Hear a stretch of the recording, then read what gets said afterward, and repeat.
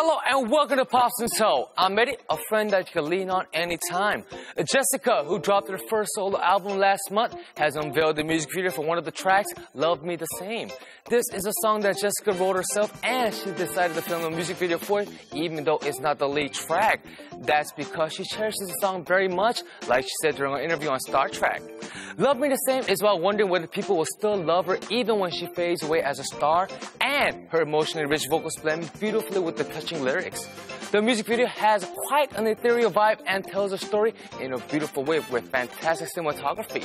So, let's check out Jessica's Love Me the Same to start off our show and make sure you stick around to meet the five members of the super tall group Kanakkan on The Rookie Show.